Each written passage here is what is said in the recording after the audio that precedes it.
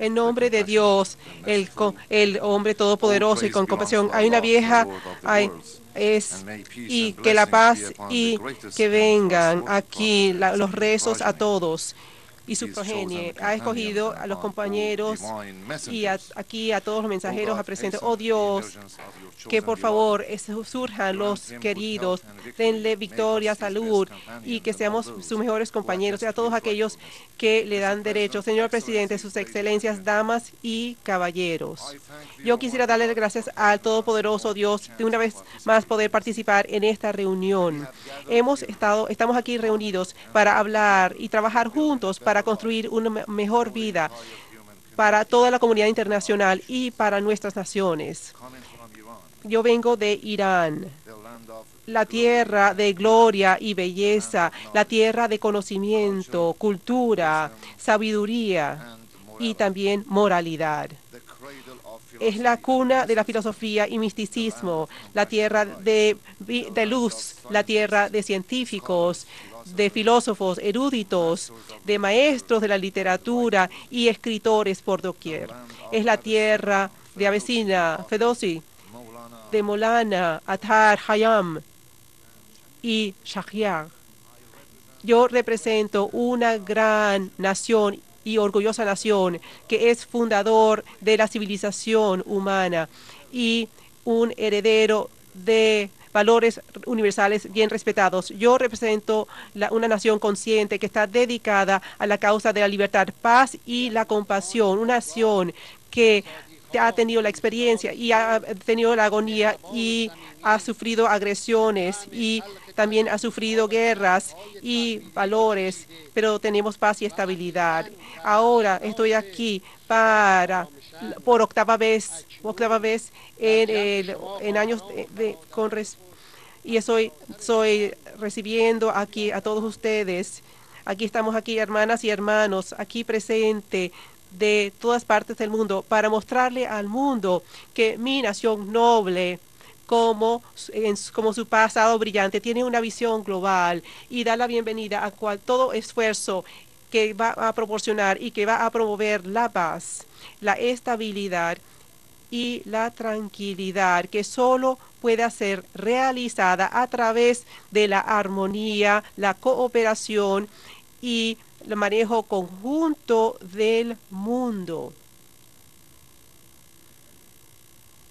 Yo estoy aquí para ser la voz del divino y del mensaje divino de hombres y mujeres de mi pueblo. Para ustedes y para todo el mundo también estoy aquí como vocero. Este es un mensaje que quiero transmitir que que Irán y su gran orador de Irán y poeta también, Sadim, presentó ante la humanidad en su, en su, a través de su poesía pues los seres humanos somos miembros de un todo y somos alma y cuerpo. Y si un miembro está, tiene dolor, entonces los otros miembros entonces van a ser de alguna manera afectados. Yo he hablado en el pasado, en los últimos siete años, acerca, acerca de las soluciones y retos y los prospectos del mundo futuro que tenemos delante. Y hoy quiero sacar a relevar, a hablar acerca de distintos aspectos desde distintas perspectivas. Hace miles de años, han pasado miles de años desde que los niños de Adán y Eva, que la paz sea con él, con Adán, que comenzaron a asentarse en distintas partes del mundo, personas de distintas inclinaciones, idiomas, colores y tradiciones, buscaban, buscaban una vez llenar sus aspiraciones de crear una sociedad noble para una mejor vida con paz, seguridad y salud y felicidad. Y a pesar de todos los esfuerzos hechos por distintas personas y buscadores de... Y había ha habido mucho sufrimiento y muchas personas han sufrido buscando lograr felicidad y victoria. La historia de la humanidad, excepto en raros casos, siempre está marcado con sueños y fracasos. Imaginen por un segundo, por lo menos, si no hubiese habido tanto ego, ni, ni tantos comportamientos negativos, negativas y dictaduras, sin nadie violar los derechos de los demás, habían, si se hubiesen tomado en cuenta las visiones humanitarias en cuanto a la dignidad social, en vez de el consumismo, por ejemplo, si la humanidad no hubiese pasado por el medioevo y los centros de poder no hubiesen estado manejando el florecimiento de la paz y el florecimiento de, literatos, las cosas serían distintas. Pero ha habido colonialismo, esclavitud. Si, si esto no hubiese ocurrido, si los herederos de estos periodos oscuros hubiesen seguido eh, los principios de la humanidad para su bien, pues bien, después de la primera, eh, ha habido guerras en África, en, en América en los Balcanes, si no hubiesen ocurrido todas estas guerras mundiales, y en vez de ello, en vez de la cooperación de Palestina, por ejemplo, la posición de un gobierno falso, pues desplazamiento, genocidio de millones de personas en todas partes del mundo. La verdad detrás de, estas guerras han sido reveladas basadas en la si Saddam Hussein hubiese invadido Irán y si los grandes poderes hubiesen dado apoyo a, al pueblo de Irán en vez de estar del lado de Saddam. Si el incidente trágico del 11 de septiembre y las acciones militares en contra de Afganistán e Irak, que dejaron a millones de personas sin hogar y fallecidos, si esto no hubiese ocurrido, si en vez de matar y de, lanzar al hombre al mar eh, sin llevarlo al, sin informar al mundo y sin, sin y si, si cuando se formó el equipo para hacer que el público subiese acerca de la realidad debajo del detrás del incidente y traer a justicia a los perpetradores de, y si el extremismo y terrorismo no hubiese sido utilizado para asegurar objetivos políticos, si si si, las, si los gastos militares se hubiesen utilizado para promover amistad entre las naciones, si, si aspectos, conflictos raciales no se hubiesen llevado a cabo. Y si distintas diferencias no se hubiesen utilizado por el propósito de avanzar agendas políticas, si el derecho a criticar eh, las políticas hegemónicas y acciones de del sionismo del mundo para que todo el mundo pudiese hablar acerca de la realidad en vez de tomar y de tratar de esconder y ofender las personas y las creencias sagradas y de, el de los de divinos mensajeros con, respecto a los seres humanos y, son los regalos de Todopoderoso para la humanidad. Si el Consejo de Seguridad no hubiese bajo la dominación de un número limitado de gobiernos, no permitiendo que los Estados Unidos pudiese llevar a cabo su responsabilidad.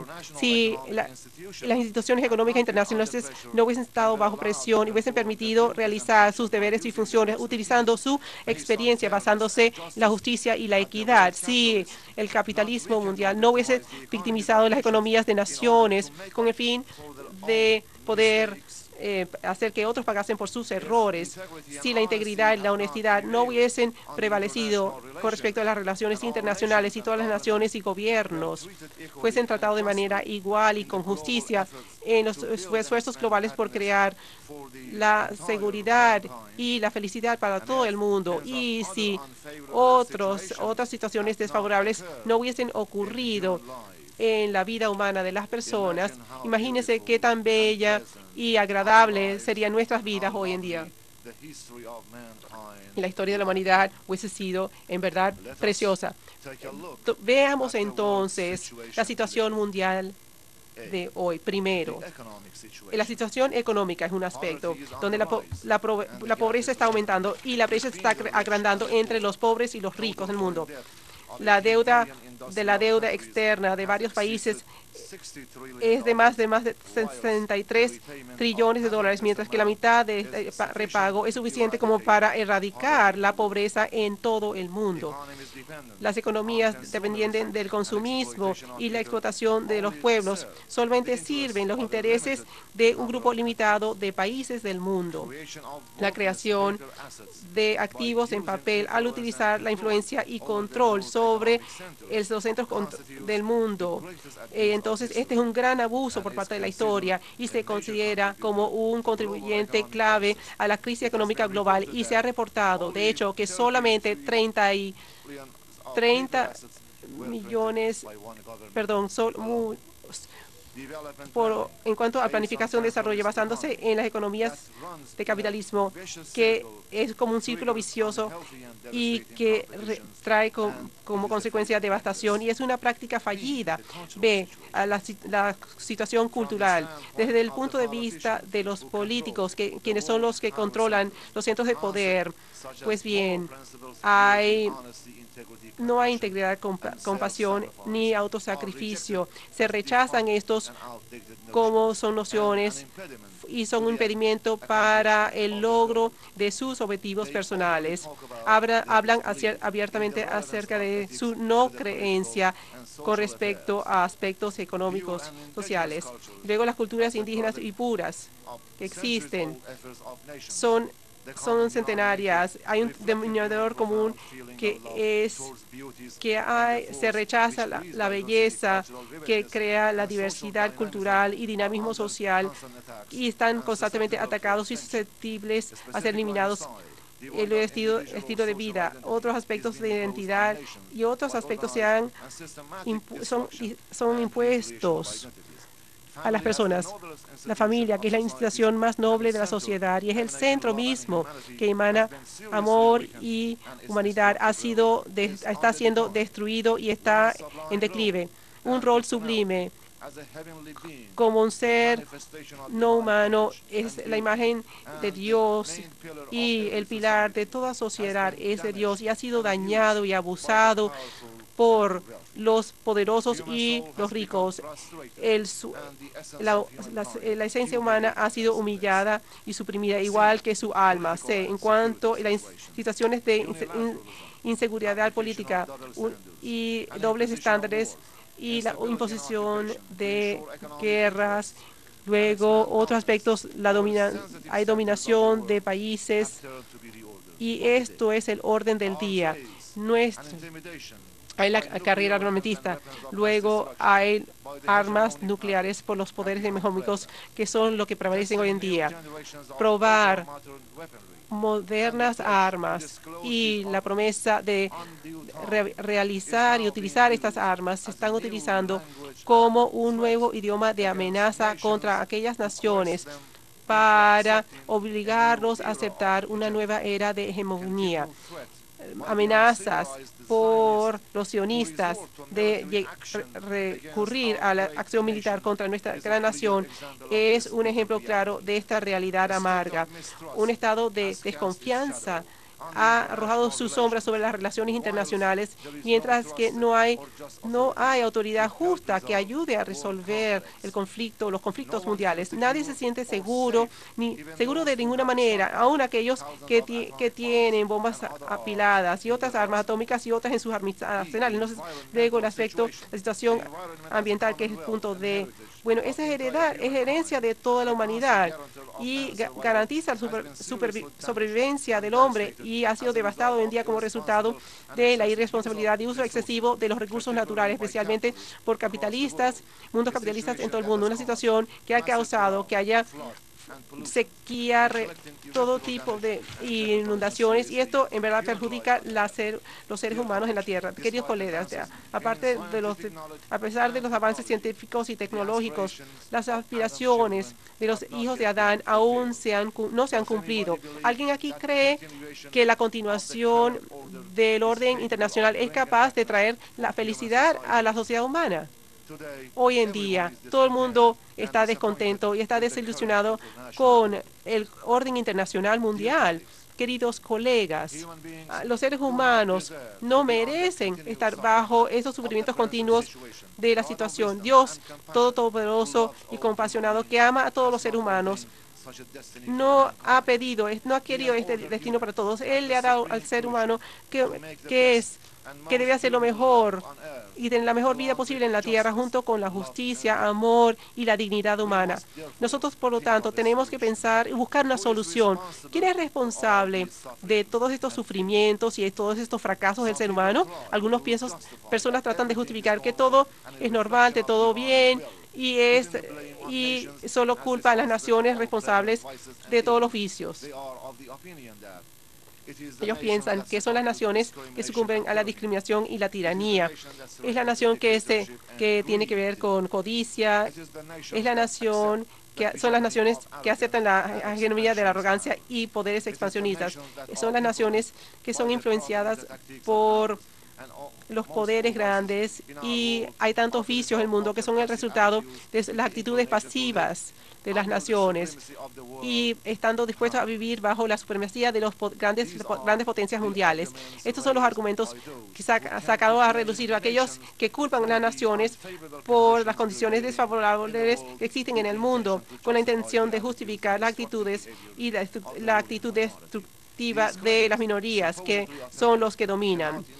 Entonces, de alguna esto no puede justificar la continuación de la situación actual y la opresión internacional por esta orden internacional que es opresora. De hecho, la, la, la pobreza se impone a las naciones y, hay, y las ambiciones se logran a través de de, aspectos de fuerza para justificar sus acciones inhumanas. Ellos propagan la teoría basándose en la sobrevivencia de los más aptos, mientras que en principio la mayoría de los gobiernos y las naciones lo que son humildes y son sumisos vis a vis sus derechos y entonces están sumisos ante la situación. Masas de personas no quieren expandir sus territorios, ni quieren ni buscan obtener eh, riquezas. En verdad no tienen en verdad, eh, en verdad ambiciones ni y no han creado nada malo. Yo no creo que los musulmanes, cristianos, judíos, hindúes, budistas y otras religiones y otros pueblos tienen problemas entre sí o son hostiles entre sí. Ellos se llevan bien, de manera cómoda y viven juntos en armonía, en una atmósfera de paz y amistad. Todos están, están buscando amor, paz y justicia.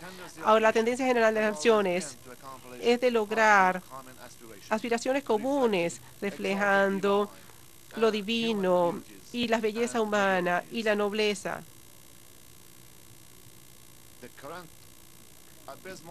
la situación actual y los incidentes, terribles de la historia se deben al manejo incorrecto del mundo y a los centros autoproclamados de poder que sean que ellos trabajan con el diablo. El orden que está en los seres humanos de la que se basan en la esclavitud en el colonialismo son responsables de la pobreza, de la corrupción, de la ignorancia y la opresión y de la discriminación en todos los rincones del mundo hoy en día. El orden mundial tiene ciertas características, algunas de las cuales son las siguientes características de este nuevo orden mundial. se basa en el materialismo y es por ello que de ninguna manera tiene que ver con aspectos morales, no tiene ninguna, ningún anexo con nexos morales. Luego ha sido moldeado según la codicia, la decepción, el odio y la animosidad. Cree en la clasificación de los seres humanos, humillación de otras naciones, de, de estar encima de otras naciones. Busca expandirse, expandir, expandir por extender conflictos entre naciones y grupos étnicos. Su objetivo es monopolizar el poder, la riqueza, la ciencia y la tecnología para un grupo limitado. Las políticas del mundo, sus centros de poder, perdón, se basan en el principio de la dominación y el, con, el conquistar a otros. Estos centros de poder solo buscan su supremacía y no están en favor de la paz ni definitivamente no están al servicio de sus naciones. Aquellos que gastan millones de dólares en las campañas electorales tienen interés del pueblo del mundo, pues a pesar de que hay grandes políticos en los países capitalistas, el dinero que, utilizan para las campañas electorales es sencillamente una, una inversión. Aquí las personas tienen que votar por un, por un país, partido que solo representa representa solo un pequeño grupo de personas. las la, la visión y la, no, en verdad no tienen influencia las personas, la mayoría de las personas, especialmente con respecto a aspectos de política externa, en Estados Unidos y en Europa por lo menos. Sus voces no se les escucha aún si constituyen el 99% de la sociedad que son así pues valores éticos y humanos se sacrifican en aras de ganar mundos y de escuchar las demandas, los requisitos de las personas que solo es una herramienta en el momento de elecciones. El orden mundial económico es discriminatorio y se basa en las injusticias. Queridos amigos y colegas, ¿qué hay que hacer ante esto y cómo salirnos de esta situación actual?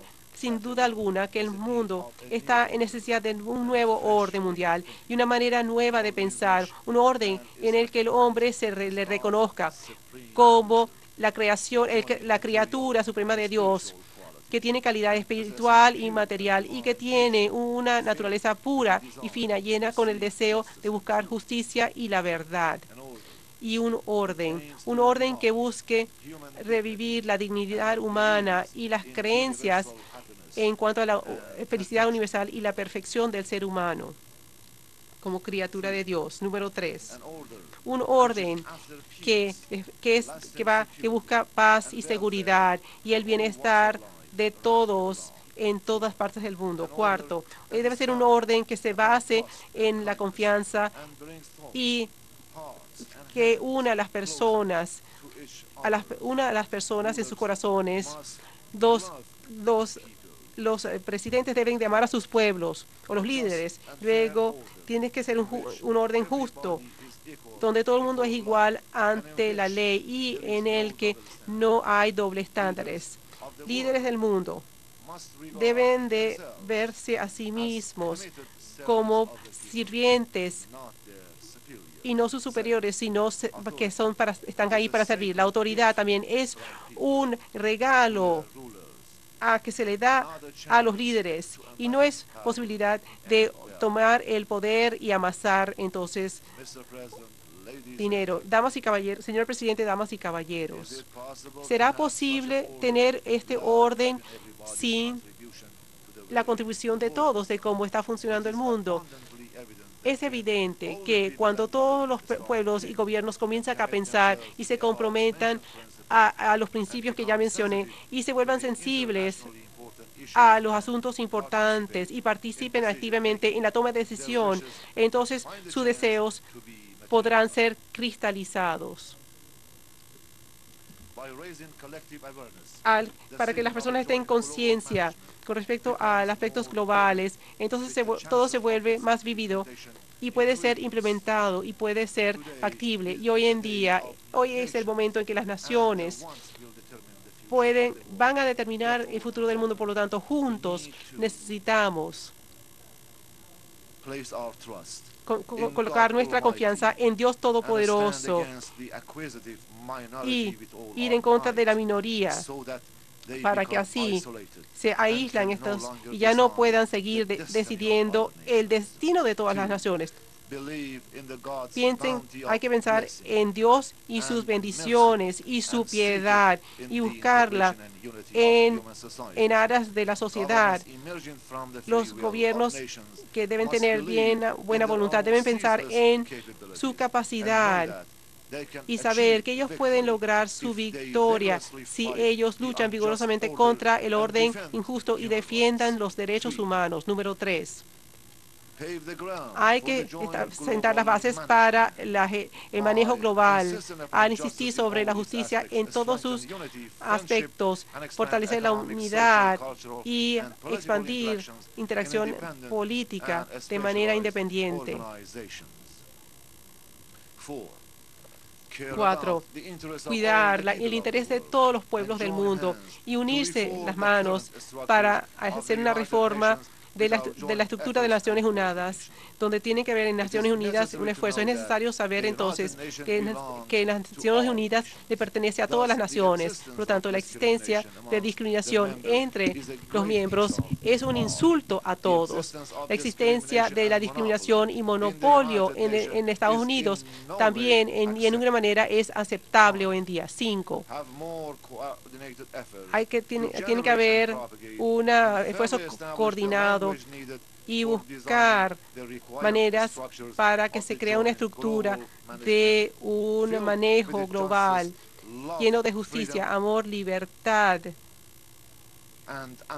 y amistad, que haya participación en manejo global, que es la base de la paz y luego aspecto de los no alineados, que es muy importante en las Naciones Unidas, cuando obtuvo su una cumbre en cuanto a la reunión que se dio en Irán por lo importante y los problemas acerca de los malos manejos en cuanto a la emergencia, surgimiento, perdón, de crisis y problemas que afligen al mundo hoy en día.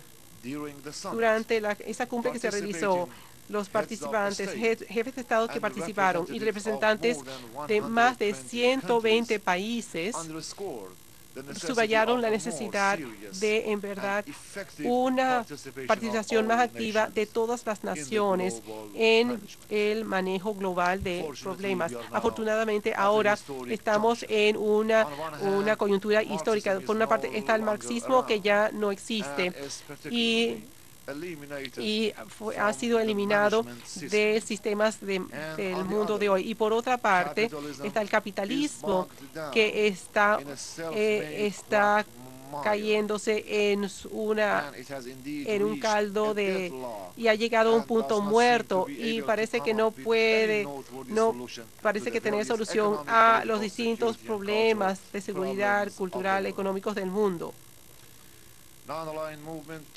el movimiento no alineado puede una vez más enfatizar el derecho de su decisión histórica de rechazar los polos de poder y la hegemonía que quiere dominar el mundo. Y en nombre de los miembros del movimiento no alineado, yo quisiera invitar a todos los países del mundo a participar más activamente en hacer posible que todo el mundo pueda contribuir a la, la toma de decisiones global y este proceso de toma de decisiones a nivel mundial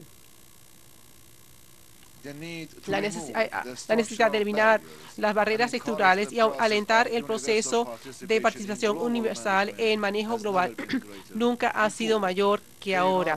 Las Naciones Unidas falta, le falta la eficiencia de traer consigo los cambios necesarios. Si esta ineficiencia sigue, entonces las naciones van a perder la esperanza en la estructura global para defender sus derechos. Si las Naciones Unidas se reestructura, entonces las interacciones internacionales y el espíritu de cooperación global va a ser dañado y la posición de Estados Unidos será dañado.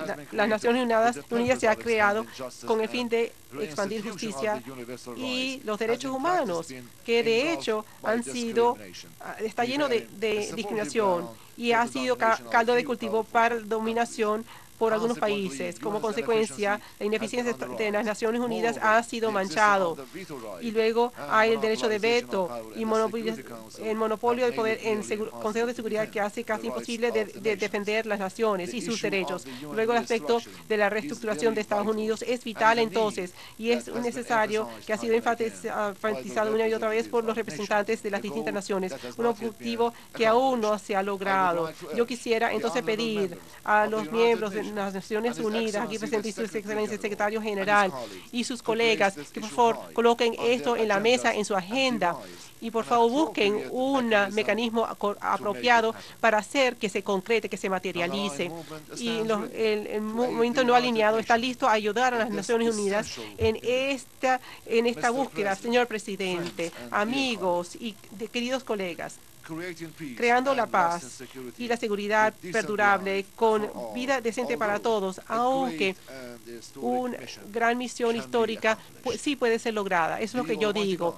Todo, el Dios Todopoderoso no nos ha dejado solos en esta misión que tenemos de vida. Y he dicho que va, por supuesto que va a ocurrir. Y si no ocurre, entonces será contradictorio a su sabiduría, es decir, de la sabiduría de Dios. Dios ha prometido a nosotros un mundo mundo de hombre. El hombre debe querer a todos un hombre de justicia, que es un ser humano perfecto.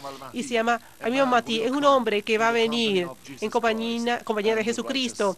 Y lo que es recto y lo que es correcto, y utilizando el potencial de todos, el mundo y su necesidad, y va, y repito, el potencial inherente de todo el mundo, de todos hombres y mujeres del mundo, este va a liderar la humanidad para lograr su glorioso futuro y sus ideales futuros eh, y eternos. La llegada del Salvador va a marcar el renacimiento y la resurrección del hombre, sea el inicio de la paz, la seguridad perdurable y una vida genuina. Su llegada será el final de la opresión, la inmoralidad, la pobreza, la discriminación y el inicio de la justicia, amor y la empatía también. Él va a venir, este Salvador va a venir y va a terminar con el prejuicio y va a abrir las puertas de la ciencia y la tecnología. Él va a establecer un, rol, va a traer prudencia,